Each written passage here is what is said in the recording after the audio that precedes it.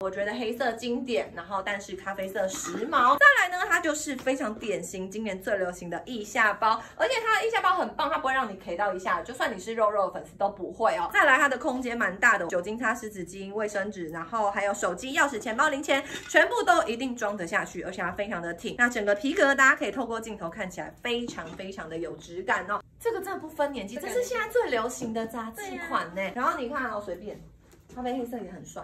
然后杯咖啡色也很时髦，